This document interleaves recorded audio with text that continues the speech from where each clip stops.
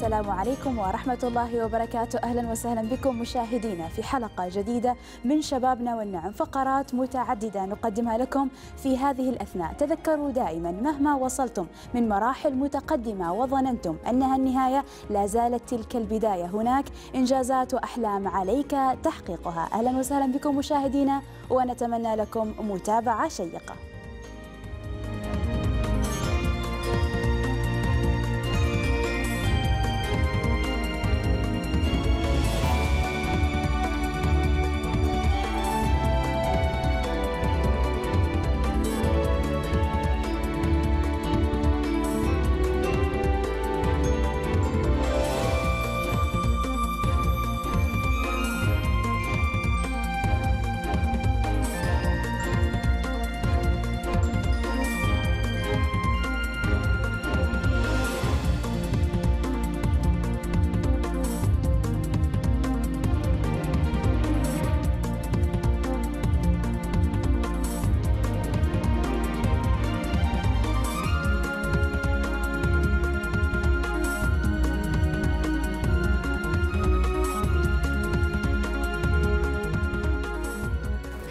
وسهلا بكم مشاهدينا في فقرة المبادرات. واليوم حديثنا عن مبادرة بيت القراءة، هذه المبادره التي جمعت النساء الذي جمعهن حب القراءة وهذا الشغف الثقافي، راح نتعرف حول هذه المبادرة أكثر وأكثر مع الفنانة التشكيلية حليمة البلوشية، أهلا وسهلا بك حليمة. هلا وسهلا أختي المها. حياك الله في برنامج شبابنا والنعم. وأنا ذكرت الفنانة التشكيلية وطبعا هذا مجال آخر بعيد عن القراءة. راح نتحدث عنه في وقته. والآن راح نركز عن هذه المبادرة مبادرة بيت القراءة. في البداية شغف حب اطلاع وقراءة كثيرة في مجالات عديدة. إيه هي أكيد اللي ساعدت أنها تظهر هذه المبادرة؟ حدثينا عنها. فكرة المبادرة بدت تقريبا من سنة ونص. تأسسنا كمجموعة فقط نسائية عبارة عن أنا وصديقاتي فقط. أيوة. يعني الفكرة أول شيء طبعا مصدرها حبي للقراءة يعني حب قديم هو ارتباطي مع الكتب والقراءة من أيام يعني إحنا أختي المها نرتبط وإحنا صغار بعادات جميلة منها القراءة والرسم وأشياء أخرى يعني. صحيح. وبس أول ما نكبر ونتخرج ونبدأ نشتغل ومع تكاثر المهام والمسؤوليات نبدأ للأسف نترك يعني هذه العادات بسبب عدم وفرة الوقت باعتقادنا يعني. وسبحان الله مع الأيام حسيت إني لازم أرجع أقرأ. حسيت إني خلاص بديت ما أقرأ ابدا يعني. حسيتي بفراغ كبير. بفراغ يعني. في أشياء كنت أحبها وتركتها و... وأريد أرجعها. فسبحان الله يعني فجأة في يوم كذي قلت ليش ما نأسس نادي للقراءة؟ طبعا بنقاش مع مجموعة من الصديقات في واحدة منهم بالذات يعني زرعت هالفكرة في مخي لكونها تعرف. إني أنا أحب القراءة أصلا. فبس قررنا نأسس هذه المجموعة. بدينا كمجموعة في الواتساب آه وبعدين توسعنا وأسسنا الحسابات في قنوات السوشيال ميديا. والحمد لله يعني بدينا أول لقاء لنا أذكر آه شهر 8 2016 وكان لقاء موفق الحمد لله. يعني جاءت هذه المبادرة كحل. كحل إنك أنت بتعدي لفترة طويلة عن القراءة بسبب أعمال كثيرة والحياة الروتينية وما إلى ذلك. ولكن من أجل الرجوع القراءة والالتزام بذلك حبيت إنك تأسسي مثل هذه المبادرة وهذه المجموعة. بالضبط. هو يعني فعلا أني كاني أريد ألزم نفسي. أحيانا الالتزام شيء جميل يعني. صحيح. آه فلما تتركي نفسك كذي على راحتك ما أعتقد راح آه تعملي شيء. فقلت ما في حل غير إني أنا ألزم نفسي أو أكون في كذي موضع مسؤولية أمام الآخرين ونلزم نلزم نفسنا بقراءة. وفعلا بدينا بخطة إنه نخصص لنا مثل قراءة شهرية حتى عملنا برنامج سنوي لهذه السنة. حددنا أسماء الكتب والأوقات والتواريخ وكل شيء والكتاب اللي راح نقرأ لهم. وبالمناسبة يعني إحنا حتى هذه الفترة مركزين على كتابنا العمانيين. يعني ما يصير نقرأ للآخرين وما ونهمش كتابنا. صحيح. فألقينا الضوء على الكتابات العمانية وما شاء الله قرينا مجموعة حلوة. حتى استضفناهم في لقاءاتنا هم استضافونا في أماكنهم. فكانت لقاءات جميلة وممتعة والميزة أيضا في هذه اللقاءات إن المناقشات تكون ثرية يعني كل واحدة رأيها يكون مختلف بالمرة عن الآخر مع إن كلنا قرأنا نفس الكتاب نفس الرواية بس كل واحدة تطلع بكذا وجهة نظر مختلفة عن الثانية. فنستغرب يعني كيف مثلا هذه حصلت هذه النقطة أنا ما شفتها. صحيح. وجميعنا وهذه النقاشات كلها آه، توثق عبارة عن ملخصات وتنزل في حساباتنا مع صورة الكاتب أو صورة اللقاء أو صورة الكتاب يعني. جيد. تفاصيل جدا جميلة حول هذه المبادرة وراح نتحدث عنها تباعا لكن نتحدث عن اسم المبادرة بيت القراءة. إيش سبب المسمى؟ والله نفس الشيء آه، جلسنا إحنا الصديقات مرة ثانية مع بعض اللي هم الحين مجلس الإدارة إحنا. آه، كنا نبي نعمل آه، اسم مميز للمبادرة. اسم يعني تحسيه كذي فعلا يناسب البيت أو أو يناسب المبادرة. بما إن إحنا مجموعة نسائية وبما إن المرأة هي أساس البيت وهي اللي تزرع قيم حلوة في نفوس الأبناء. فقلنا إن بيت القراءة البيت دائما من وجهة نظري أنا البيت دائما للمرأة هي ملكة البيت. فمن هنا انطلق آه، يعني آه، اسم البيت فكرة البيت إنه آه، بما إن الرؤية هي مرأة قارئة بيت قارئ مجتمع مثقف. ففعلا حسينا إنه اسم المبادرة أصلا مقترنة بالمرأة لذلك المبادرة نسائيه أكثر شيء. جميل مثل ما ذكرتي يعني المرأة هي وين مرجعها وأساسها البيت وهي أيضا عمود البيت فإذا بالضبط. تثقفت المرأة واطلعت وتعرفت على مفهوم القراءة وأساسيات القراءة أكيد راح تنشئ جيل قارئ مستقبلا بالضبط. بالضبط. طيب آه، آه، مجموعة من النساء اجتمعوا في هذا البيت أو هذه المبادرة منهم النساء منهم العضوات أيضا آه، خبرينا عن مجالاتهم هل هم طالبات ربات منازل هل هم موظفات أيضا هم من جميع الفئات المجتمع آه، معظمهم آه، آه، موظفات قليل منهم ربات وعدد قليل جدا طالبات. فتشكيلة فعلا منوعة من الفئات المختلفة وما شاء الله مميزات في خلفياتهم الأكاديمية وفي منهم رواد يعني رائدات أعمال جامعيات في عندنا حاصلات على الدكتوراه. آه، بس فعلا مجالات متنوعة وثرية ونفتخر فيهم في بيت القراءة وين عادة هذا البيت يكون؟ هل هو موقع خاص بالبيت أو بالمبادرة أو أنها تتنقل لمواقع مختلفة؟ والله حاليا بما أنها مبادرة تطوعية إحنا ما عندنا مكان محدد بس الحمد لله يعني يتم استضافتنا أحيانا مثلا في دار نشر في بيت إحدى العضوات أو في آه، مكان آه، معين أو في مقهى مثلا أيوة. وهذا التنوع صار مثل ميزة الحين عندنا ونستمتع فيه كل مرة مكان. كسر الروتين. وحتى نحس فيك مثل كذي آه، شوق من القارئات والعضوات وين يا ترى وين راح يكون اللقاء القادم؟ وهي اللقاءات أيضا تحدد شهريا صح؟ مرة واحدة في الشهر؟ بالضبط. آه، طريقة اللقاءات إنها شهرية مرة في الشهر. آه، نتفق على رواية أو كتاب معين وجميعنا نقرأ وبعدين نلتقي ونناقش. الكتاب حدثينا كيف يتم الاتفاق على كتاب معين؟ يعني المجالات كثيرة منها الروايات الأدب العلوم التاريخ بالضبط. وما إلى ذلك وأيضا تنمية الذات لها دور في ذلك. حدثونا أيضا المجالات اللي تقروا فيها كيف يتم تقسيمها وكيف يتم تحديدها؟ إحنا إيش عملنا في البيت؟ عملنا مثل تقسيم أدوار آه، بين العضوات، يعني مثلا إذا في عضوة كثير شاطرة إنها تعرف كيف تختار الكتب فنوكل لها هذه المهمة، يعني عندنا مثلا اثنين عضوات أعطيناهم هذه المهمة إنهم يقوموا باختيار الكتب بس من جميع المجالات يعني مثلا من كل مجال آه، مجموعة كتب. أيوه. وفي النهاية يصير مثل فرز بعدين أنا أطلع كرئيسه آه، للبيت أطلع على المجموعة كلها. مثلا آه، ممكن أستبعد بعض الكتب أو إني أزيد من عندي بعض الكتب. وبالتالي نعمل مثل جدولة للكتب هذه مثلا شهر واحد هذا الكتاب وشهر اثنين هذا وفي النص أحيانا نترك مجال للقراءات الحرة. ما نحدد كتاب معين. يعني مثلا هذا هذا اليوم ليش نخليه حر؟ على أساس إن القارئة يمكن تحب تيجي تقرأ عن آه، في مجال اختصاصها. مثلا واحدة في في أمور بنكية أو مثلا واحدة في الموارد البشرية أو مثلا واحدة في تطوير الذات فتحب تيجي مثلا تقرأ في هذا المجال اختصاصها فنترك لها المجال. في هذا اليوم هي حرة إنها تناقش في اللي هي تحب آه، تتكلم عنه. يعني بدون إلزامها بمجالات معينة. ابدا طيب أيوة. ذكرت نقطة إن هي بما إنك أنت رئيسة هذا البيت تختاري الكتب اللي تشوفيها مناسبة تستبدعي آه، تستبعدي بعض الكتب طبعا. وأيضا تضيف الكتب. إيش هي المعايير اللي تخليك تختاري كتاب عن غيره؟ وإيش هي أيضا المعايير اللي تخليك تستبعدي بعض الكتب؟ يعني مثلا من سياسات البيت إنه نستبعد الكتب السياسية والدينية. يعني هذا كان واضح من البداية إن إحنا ما نتكلم أو ما نقرأ في كتب. أساس هذه أمور ممكن تدخلنا في متاهات وجدالات إحنا في غنى عنها.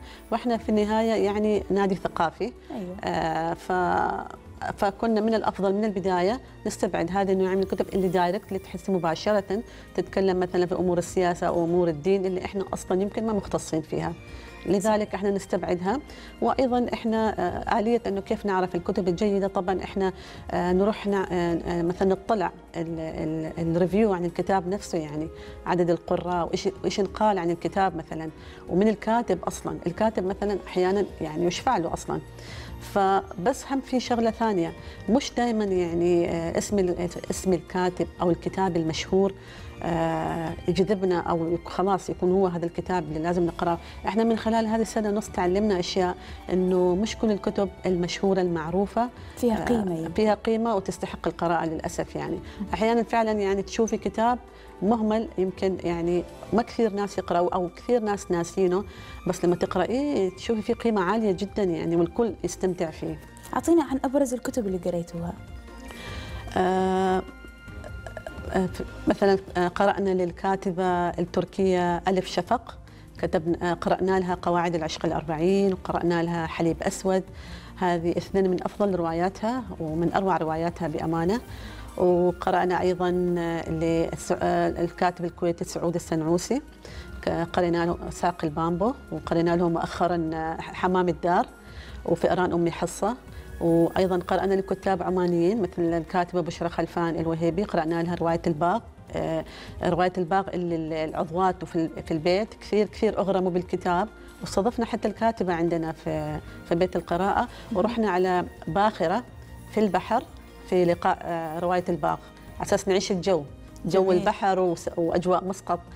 وكتاب آخرين كثير ما شاء الله بالإضافة إلى كتاب أجانب يعني مثل آه، باولو كويلو.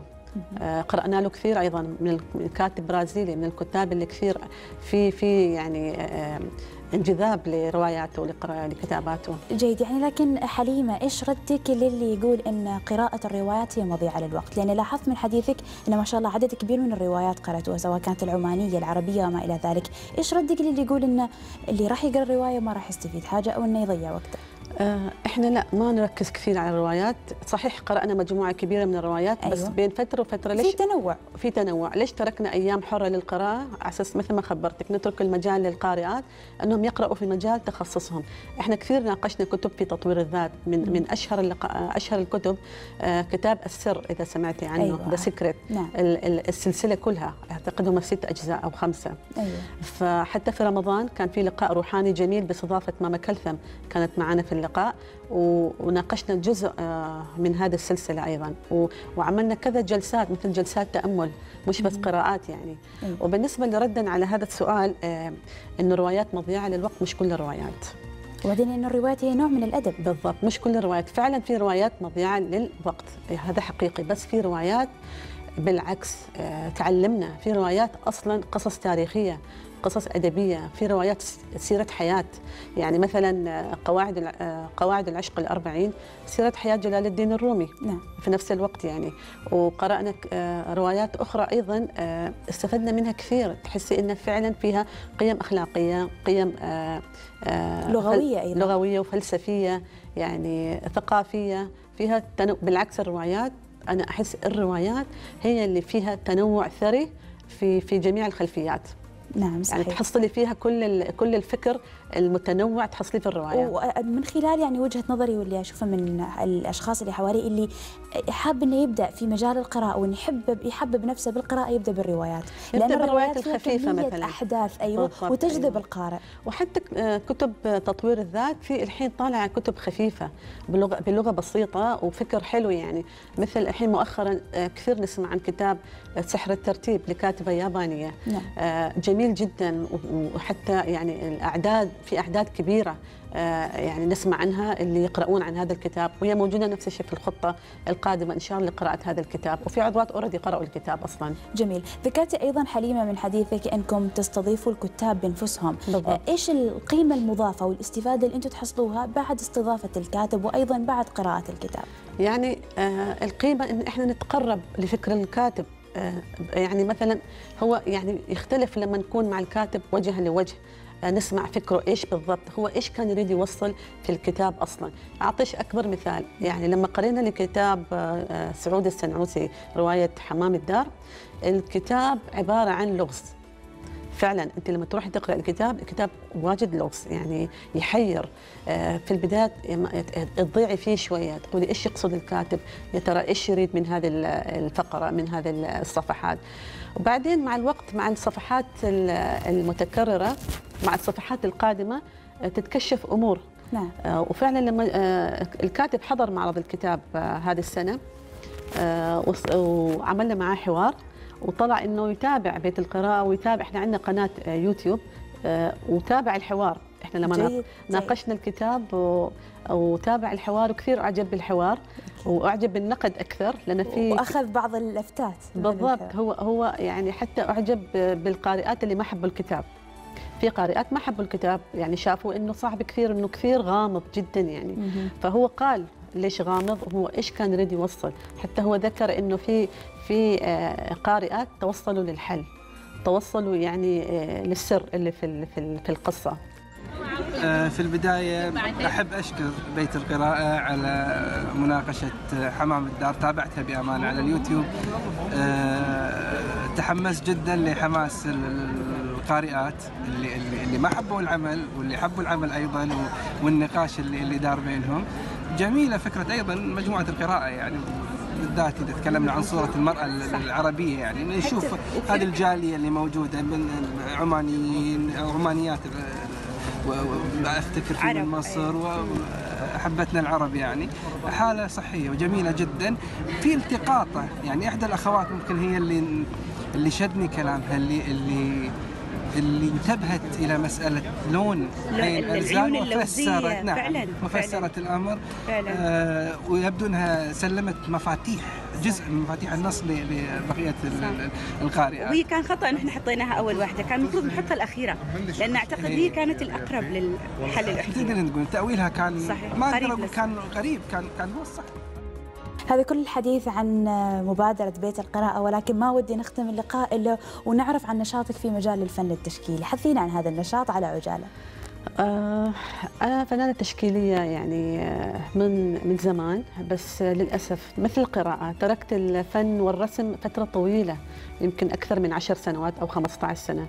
وبس رجعت على بداية 2014 والحمد لله وأنا عضوة في جمعية الفنون التشكيلية عضوة قديمة جدا يعني. فرجعت بهمة وبنشاط الحمد لله. وأشارك دائما في المحافل الفنية سواء خارج السلطنة أو داخل السلطنة المعارض السنوية للجمعية. آه، عملت معرض شخصي واحد وإن شاء الله القادم أجمل. القادم أجمل إن شاء الله. وأشارك مع الفنانات معارض جماعية. وعندي أعمال وأقتنيت أعمال وأنا يعني تم اقتناء أعمالي الحمد لله. ومؤخرا شاركت في منتدى السيابي للفنون لو سمعتوا عنه المنتدى ورجل أعمال. الشيخ سالم السيابي هو رجل أعمال حب يستثمر آه، في الفنان آه، العماني أو في الفن بشكل عام وأيضا شاركت في مشروع المطار الجديد بأعمال فنية طلب منا نعمل أعمال فنية جميل. تعلق في في ممرات المطار جميل جدا. إحنا نتمنى لك كل التوفيق حليمه البلوشية وأيضا مبادرة بيت القراءة. شكرا شكرا أختي الماء يعطيك العافية. اذا مشاهدينا هذا كان حديثنا عن مبادرة بيت القراءة ودائما ما نردد أقرأ لأن حياة واحدة لا تكفيني.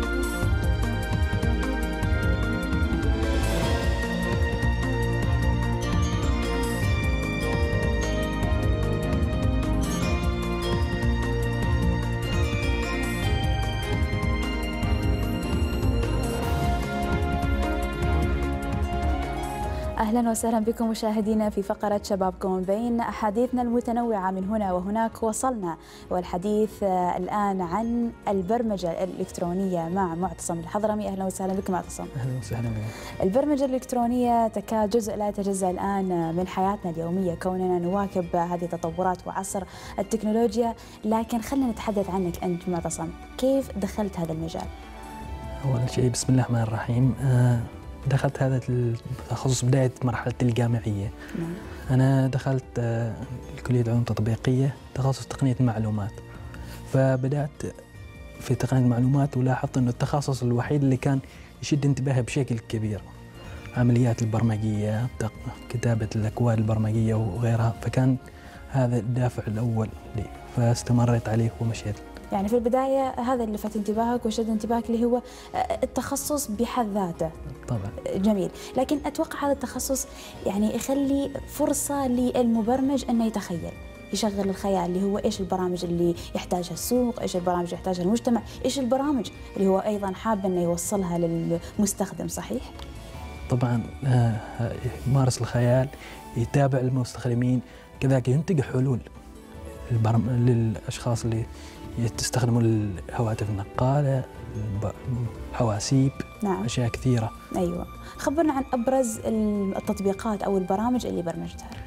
آه، أبرزها حاليا يوجد لي تطبيق في سوق بلاي اسمه Creative Hands الايدي المبدعة. آه، هذا البرنامج مختص لأصحاب الأيدي المبدعة. أعمال يدوية أعمال حرفية. أي أي شخص يحب يمارس شيء بيديه أيوه. فبإمكانه أن يرفع فيديو تعليمي يعلم الناس يعطيهم شيء من مهاراته وخبراته وكذلك شيء سوق بسيط جدا ينتج منتجات بامكانه يبيعها ويشتري. من خلال استخدامه لهذا التطبيق. طبعا. تطبيقات أخرى أيضا اشتغلت عليها. تطبيقات أخرى مواقع إلكترونية مواقع في واحد منهم موقع داخلي أيوه. لأحد الفنادق. تجاري. تجاري. يع- يريهم خدماتهم مثلا آه، تنظيف الغرف آه، استئجار سيارات. أيوه. كافة الخدمات المرتبطة بالفندق. طبعا أيوه وأيضا في أعمال أخرى أو برامج أخرى؟ حاليا نعمل مع شركات آه، أنظمة داخلية. مهم. آه، نظام ترتيب ملفاتهم. الحين كثير منهم ما يحبوا الأعمال الورقية تملى الملف فكلهم يرتبوهم داخل ملف أو برنامج نظام داخلي أيوه. باجهزتهم جيد. يعني الكثير من البرامج ولكن المبرمج قبل لا ينشئ أي برنامج أو ينزله في آه، Google Play أو ال Apple Store آه، يفكر إنه هل هذا البرنامج يحتاجه المجتمع أم لا؟ إذا تحدثنا عن برنامج Creative Hand يعني هل أيضا فكرت إنه هل المجتمع يحتاج له؟ والله إيش السبب اللي ساعدك إنك أنت آه، تنشئ هذا البرنامج؟ هذا السبب الأول إني أنا أحب أعمل بيدي. أكثر الأشياء أعملها بيدي عندي أعمال يدوية بسيطة يعني أنت واحد منهم واحد منهم فما لاحظت إنه مثلا اماكن تدلني أشخاص يعلموا أو أشخاص تستنتج منهم غير المواقع الإلكترونية تبحث بذات بذاتك أيوه إذا حصلت شيء مركزي أو مركز على شيء هذا المطلوب فبإمكاني أتعامل معه. بشكل أهد- أكثر هادف طيب عملي. كيف شفتي الإقبال بعد ما نزلته؟ إقبال. المستخدمين. واقبال بسيط لحد الحين. ليش؟ لأنه ما عملت له ترويج بشكل صحيح لحد الحين لكن ما زال هو في طور التطوير. إن يعني شاء من- الله. من الخطة من الخطة. طبعاً. طيب والأعمال الأخرى هي أعمال تجارية تعتمد على حسب الطلب. طيب نتحدث عن آه، طلب ال- الطلب الداخلي والطلب الخارجي من قبل المبرمجين والمستخدمين. كيف ماشي السوق؟ السوق العماني ما زال في نشأته الحين بادئ. مهم. فحصل قلة المبرمجين يطلبوهم. تحصل أكثر طلب خارجي. فأنا تعاملت مع أشياء أشخاص خارجيين زباين خارجيين بحد ذاته يعني. أيوة. فكان الطلب الخارجي من خلال جهدك الشخصي. طبعا. طيب راح نتحدث عن المجالين أو العاملين. إذا تحدثنا عن العامل الخارجي إيش اللي يساعدك أنت معتصم إنك توصل للسوق الخارجي؟ كونك أنت بعدك أصلا يعني ما بنيت أساسك في السوق الداخلي. أنا اللي ساعدني المحتوى الخارجي. تقبل الناس في الفئات المختلفة دول مختلفة للمبرمجين وإن كانوا مبتدئين. أيوه. آه، أنا أذكر أهم مواقع اسمه فريلانسر. بإمكانك تكون شخص مبتدئ وتعمل على مشاريع بسيطة لحد ما تطور ذاتك. فهذا يساعد. تساعدك تطور بنفسك تعرف بنفسك للعالم. فكان مميز جدا في مرحلة البداية. وانك توصل للطلب الخارجي بشكل أوسع أوسع. وتتعامل مع مؤسسات عديدة. طبعا طيب إذا رجعنا شوي على الداخل، إيش السبب اللي يخلي العميل أو الزبون ما يوثق بالمبرمج العماني؟ المبرمج العماني ما زال ناشئ بشكل عام لا زالت بداياته متواضعة؟ متواضعة جدا بالرغم من مواهب كثيرة وما شاء الله في كثير مبرمجين تعرفت عليهم هنا ينتجوا انتاجات لا بأس بها لكن ما زال يحتاج لنا تطوير. سوقنا بسيط فلازم نحتاج نطوره ننشئ فيه أكثر. طيب يعني العوامل هي اللي تتحكم بهذا الشيء عديدة أنت ذكرت السوق السوق طيب بسيط وأيضا آه، الطلب بسيط. ولكن تحدثنا عن العرض واللي هو المبرمج بنفسه بحد ذاته ليش ما يعمل ويبحث؟ كون أن التكنولوجيا ما هي جديدة حاليا في عصورنا. البرمجة صارت من سنوات آه، عديدة يعني مش وليدة اللحظة. ليش لا زال يمكن المبرمج العماني يعتمد على الآخر؟ المبرمج العماني معظمهم يبحث عن الوظيفة المستقرة. مهم. لا ما تحصل حد يحب يغامر أو ينشئ بنفسه عمل حر. آه، لاحظتها في كثير منهم الأشخاص. آه، الحين أنا بدأت عمل حر. أخاف أني أخسر أخاف صحيح. أنه هذه الاحتمالات. ضروري أنه يضعها. ضروري نعملها لكن أنت كمبرمج كإنسان خبير في تقنية المعلومات لا- لابد لك من الحرية. بدأ تواصل تعامل مع أكثر من شيء. لكي تصبح خبير مبدع في مجالك. وإذا تحدثنا عنك أنت وين وصلت في هذه التنشئة وهذا العمل مع نفسك؟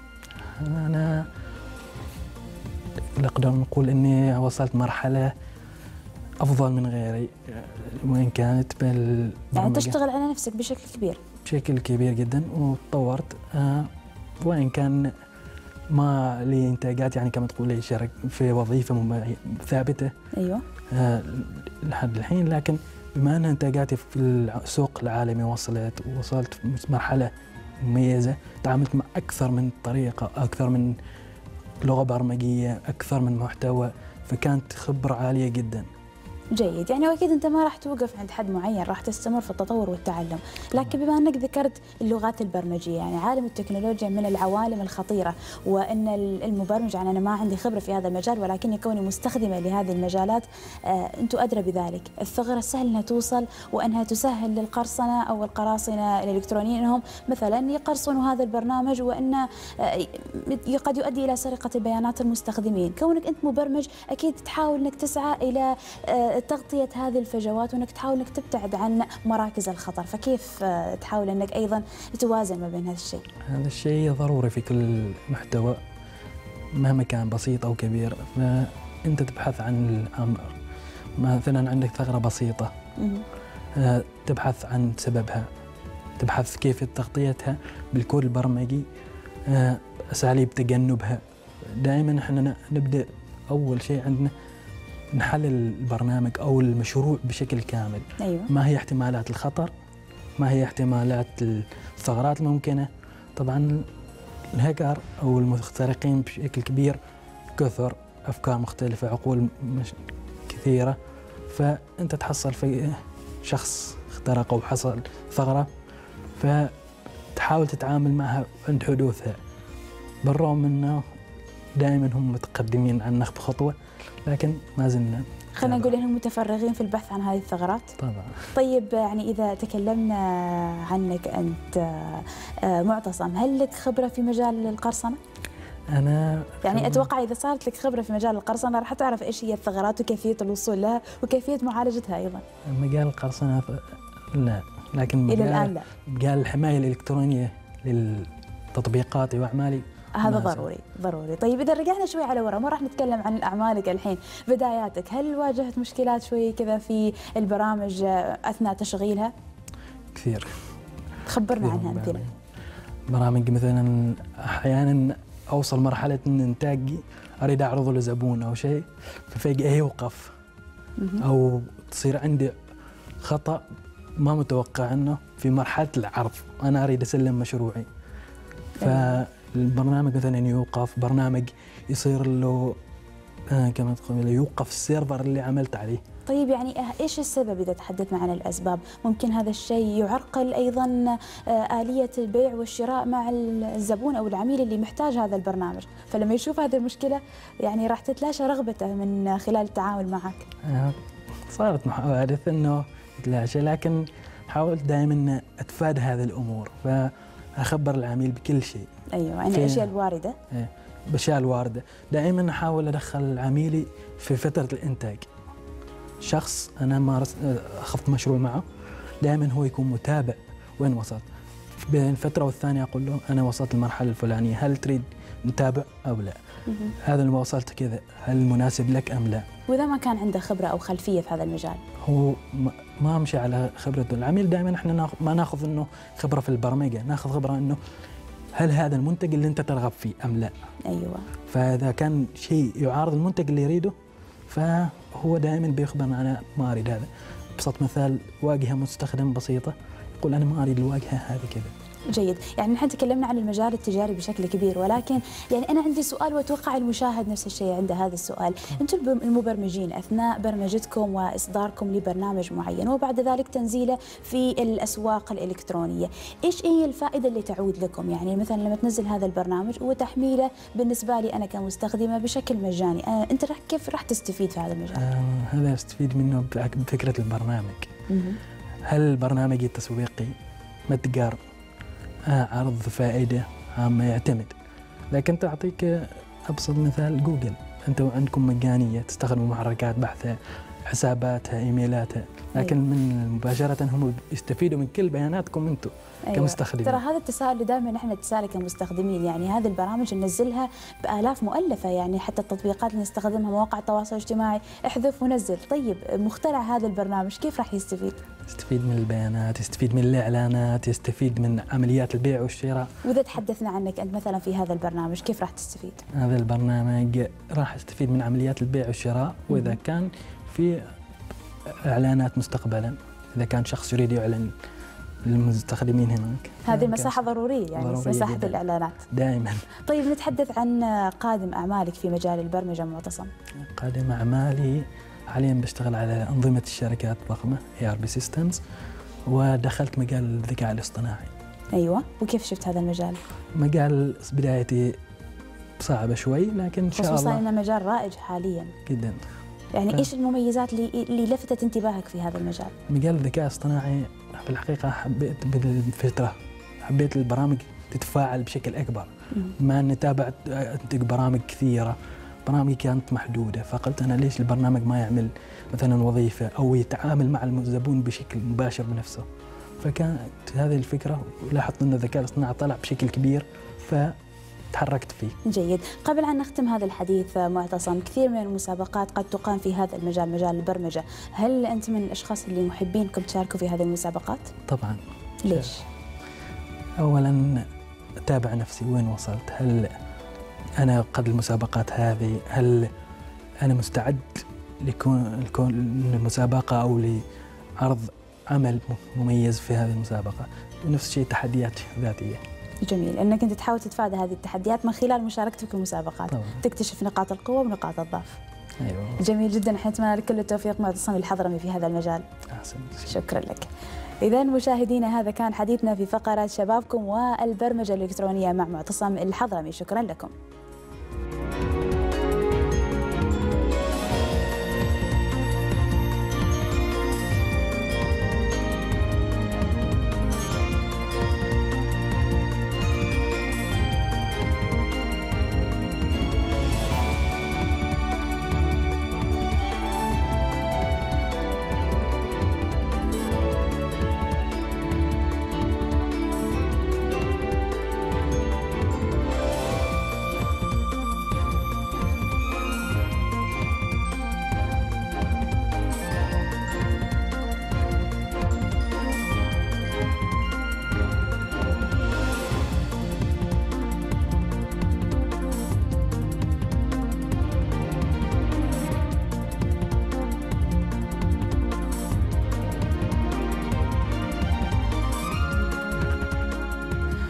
مشاهدينا وصلنا لفقرة أكيد نقدر ودائما في هذه الفقرة نسلط الضوء على الجهود الشبابية الفردية لأننا نؤمن أن كل إنسان في هذه الحياة يحمل رسالة حلم وإنجازات يتمنى أن يحققها ويواصل المزيد من النجاحات. رح نتحدث اليوم في هذه الفقرة عن قيادة ذوي الإعاقة مع أكرم المعولي والكثير من الإنجازات وسيرة حياتية مليئة بهذه الأحلام. أهلا وسهلا بك أكرم. أهلا وسهلا فيكم حياكم الله ومساكم الله بالخير. ومرحبا فيكم إن شاء الله. حياك الله في برنامج شبابنا والنعم وإذا نتحدث في البداية أو نتساءل أو نعرف المشاهد من هو أكرم المعولي. آه أنا من سكان مسقط طبعا آه، عندي إعاقة حركية طبعا هذه الإعاقة من لما كان عمري سنتين. ولله الحمد يعني قدرت إني أتغلب على الكثير من التحديات خصوصا في بداية يعني بداية الإعاقة والتي تتزامن مع بداية المراحل الدراسية. في وقت كان آه، الوعي تجاه احتياجات ذوي الإعاقة قليلة في هذاك الوقت ومتطلباتهم كانت قليلة. فكانت لدي بعض الأحلام والطموحات بأنه نرقى بفكر المجتمع في كافة الجوانب سواء من الناحية الصحية أو من الناحية التعليمية أو حتى في مجال التوظيف. نرقى بفكر المجتمع تجاه ذوي الإعاقة أو نظرتهم تجاه ذوي الإعاقة وأن نرفع من المستوى آه، اللي كنت أعتقد أنه يعني متدني إلى مستوى يعني معاصر ومتحضر و يعني تواكب مع المتغيرات الحاصلة يعني في العالم. نعم. فكانت هذه نقطة الانطلاقة لأكرم المعولي بأن يحاول أن يبدأ بنقطة التغيير وأيضا بأن يحاول أن يغير القناعات الموجودة في المجتمع. خلينا نتحدث عن الإنجازات واحد تلو الآخر. هو أنا يعني الحمد لله بعد هذه الفترة من العمر يعني لاحظت أنه الإنسان الأحلام اللي يتمناها في الصغر يعني سبحان الله يعني تساق له. وإذا ركز عليها يعني تسهل له. تسهل له. فكان هدفي في البداية أنه يعني بعد افتتاح جامعة السلطان قابوس كان هدفي أني أنا ألتحق في هذه الجامعة. ولله الحمد يعني استطعت أني ألتحق في هذه الجامعة وكان هدفي أني أدخل في كلية كان سابقا اسمها كلية التجارة والاقتصاد الحين التجارة والعلوم السياسية. الحمد لله استطعت أني أنا ألتحق في هذه آه، في هذه الكلية. وبعد التخرج طبعا آه، عملت في وزارة المالية في الموارد البشرية لمدة أربع سنوات وشعرت بأني محتاج أكتسب خبرة آه، أكبر. فبدأت أبحث عن وظيفة هنا وهناك التحقت في مشروع الموج مسقط. وعملت آه، معهم آه، لمدة خمس سنوات ونصف ومن ثم قررت أني أبحث عن مجال أرحب. والحمد لله توفقت في مركز عمان للمؤتمرات والمعارض بوظيفة مدير المراسم والتنسيق. جيد. يعني الجميل إنك ما اكتفيت بنقطة معينة أو مرحلة معينة إنك خلاص أنا وصلت وراح أواصل في هذا هذا المسير أو هذا المجال. لا انتقلت من وظيفة إلى أخرى وكل وظيفة أهلت لك اكتساب خبرات عديدة صحيح؟ بالفعل. يعني في بداية المر... في بداية المراحل الوظيفية أو في في البداية يعني الإنسان يكتسب بعض الخ...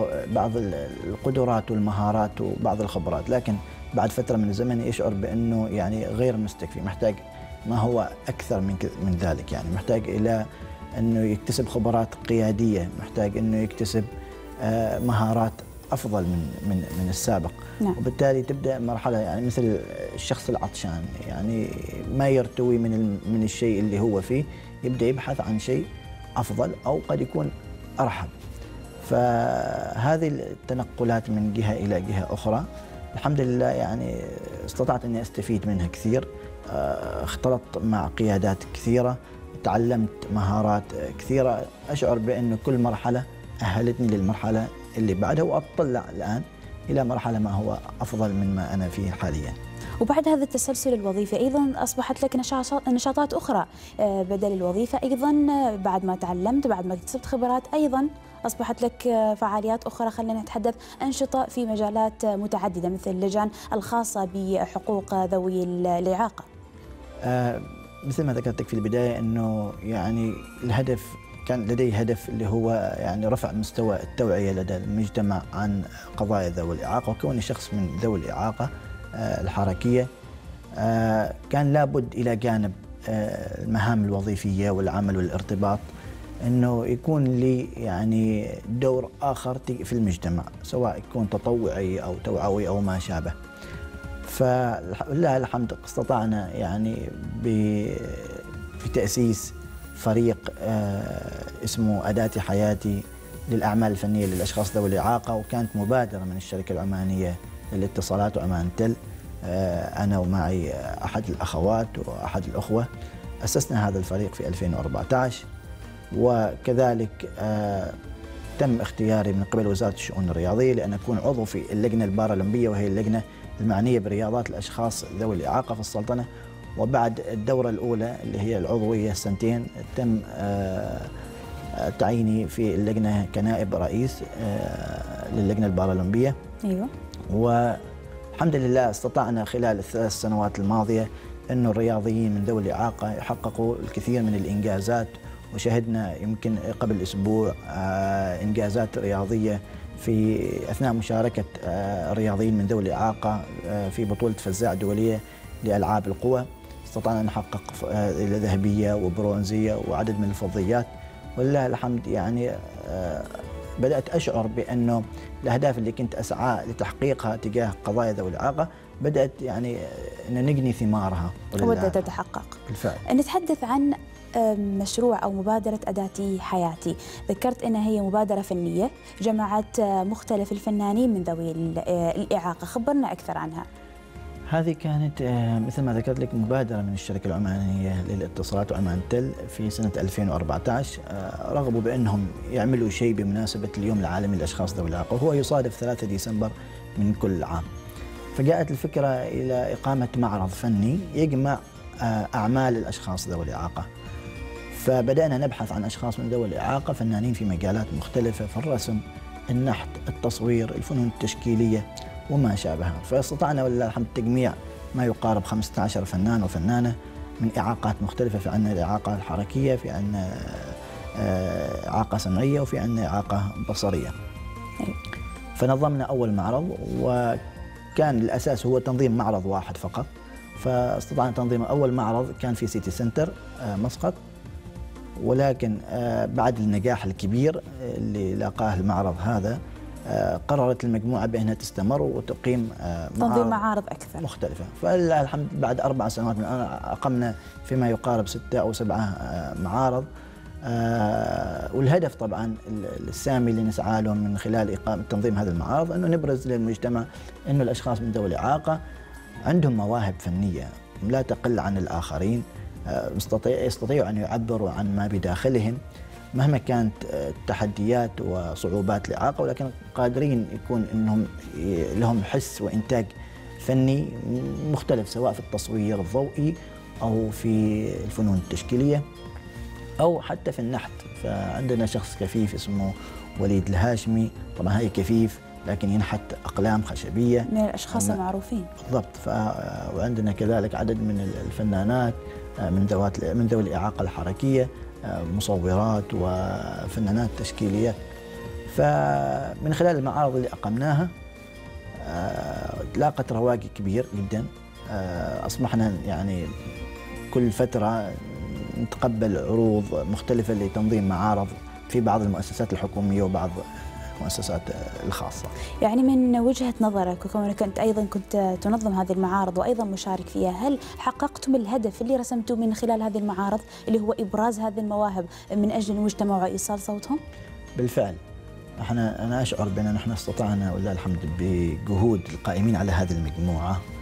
أنه يعني نحقق الهدف اللي نطمح له في وقت قصير جدا وخصوصا مع توافر وسائل التواصل الاجتماعي. أصبح من السهل أنه يعني ننشر دعوة ون- لحضور هذه المعارض. وفعلا يعني نشعر بأنه الكثير يحرص على أنه يحضر هذه المعارض ويقتني الأعمال آه، الفنية سواء كانوا أش- كأش- أفراد أو كمؤسسات.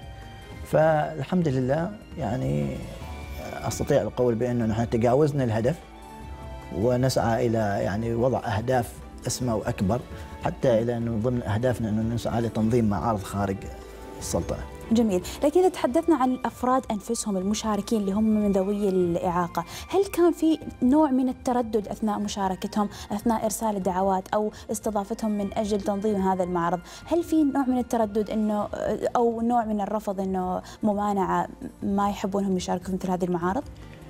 بشكل عام في بداية كل مرحلة من مراحل الأشخاص ذوي الإعاقة بشكل عام يعني ينتابه نوع من التردد وأنه يشعر بأنه شخص مختلف وأنه صعب أنه يعني يبرز في من مجرد حدث واحد.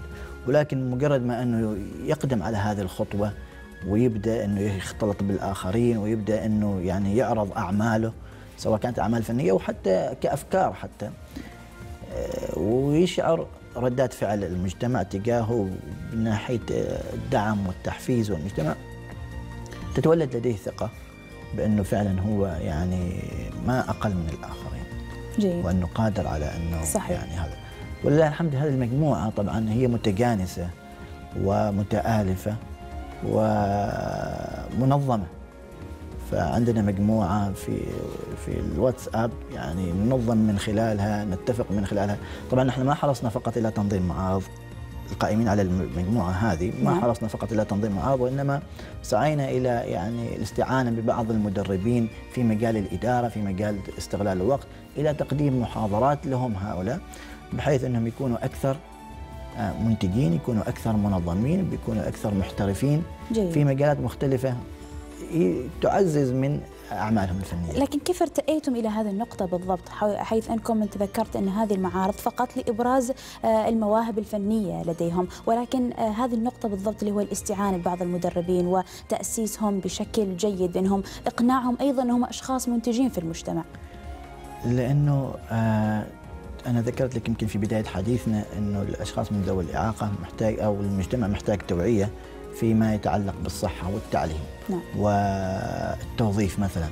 التعليم لو جلسنا نركز على التعليم لوجدنا أنه آه، حسب آه حسب آه الإحصائية أو تعداد تعداد السلطنة عام 2010 لوجدنا أنه نسبة الأمية في ذوي الإعاقة مرتفعة جدا. وبالتالي ينبغي أنه يعني نحرص إلى تعزيز الجانب التعليمي لديهم وإلحاقهم ببعض الدورات اللي تكتسبهم تكسبهم مهارات تساعدهم حتى في هواياتهم مش شرط في الوظيفة. نعم. فبدأنا نبحث عن بعض الأشخاص اللي هم مدربين دوليين عمانيين آه، من باب التطوع وقدموا لنا عدد من الورشات من من المحاضرات لرفع المستوى يعني التعليمي لديهم آه، الفكري كذلك. ولله الحمد يعني استفادوا كثير وأصبحوا يعني أكثر يعني النضج عندهم لديهم بشكل أكبر. آه، يقدروا المكتسبات يقدروا آه، القدرات اللي لديهم. آه، ف يعني وصلنا إلى ما نريده مثل ما ذكرت لك سابقا وتخطيناه ونأمل أنه نحقق أهداف يعني خارج الصندوق. بإذن الله. طيب آه، الحديث عن هذه المبادرة وأيضا الفارق اللي وصلتم له وأيضا الهدف اللي آه، يعني حققتموه يمكن ساعد آه، أن تصلوا أيضا إلى مراحل أخرى وأيضا تصلوا إلى إنجازات أخرى. إذا تحدثنا عن إنجاز آخر من إنجازاتك آه، أكرم المعولي وهو تكريمك في يوم الشباب لعام 2017 حدثنا أكثر عنه. هو عام 2017 يعني كان بالنسبة لي عام شوية مختلف. وكان أبرزها آه مثل ما تفضلتي اللي هو التكريم آه في يوم الشباب العماني كان في في صلالة.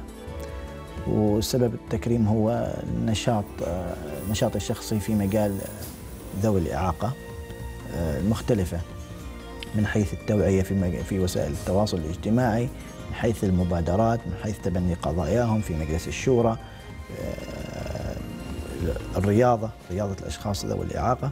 نعم. فهذا ال- التكريم يعني أعطاني دافع لأني أستمر في هذا في هذا المجال. لأن البعض يع- يعني قد يتبنى بعض الأشخاص بعض القضايا ولكنهم بسبب يعني ضعف التشجيع أو التحفيز ما يستمروا في في هذا. لكن الحمد لله يعني لدي دافع داخلي في البداية وليس التكريم هو ال- الشيء الرئيسي يعني ولكنه نعم. كان آه، كدافع.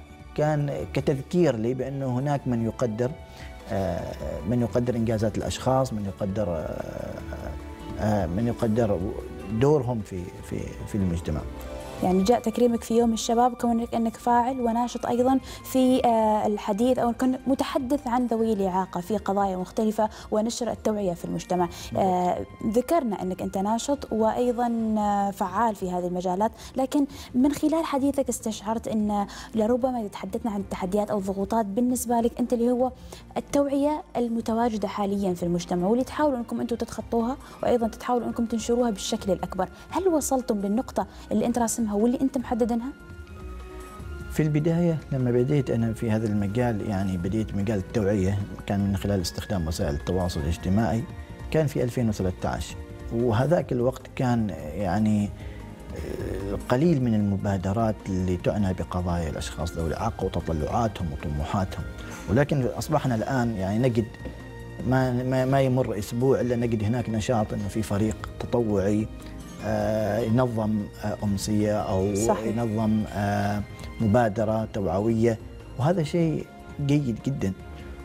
ولكن ينبغي انه يكون بشكل أكثر منظم وأنه يحقق أهدافه. لأنه أنا آه، دخلت في بعض آه، المجموعات آه، التوعوية ولكن ما استمرت هذه ال- ولذلك يشعر الواحد بالأسف أنه في جهود تبذل في البداية ولكن ما تتسم بال- بالاستمرارية.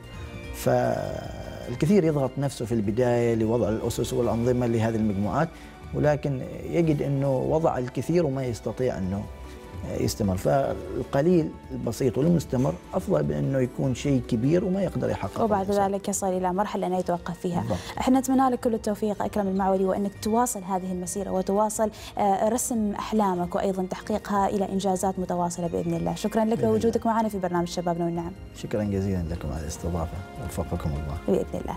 اذا متابعينا هذا كان حديثنا في فقرة أكيد نقدر شكرا لكم.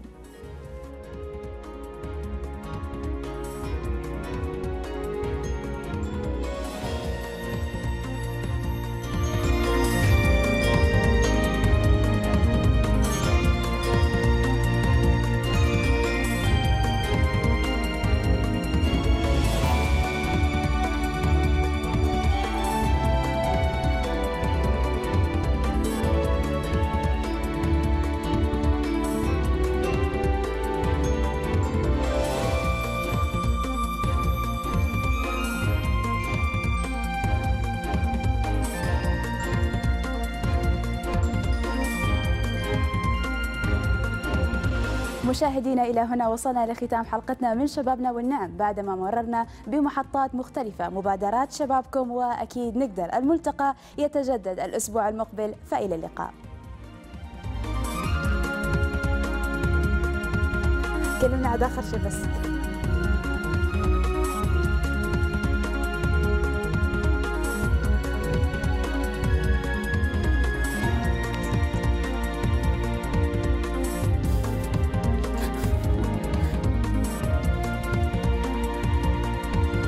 بس خلاص دام أحمد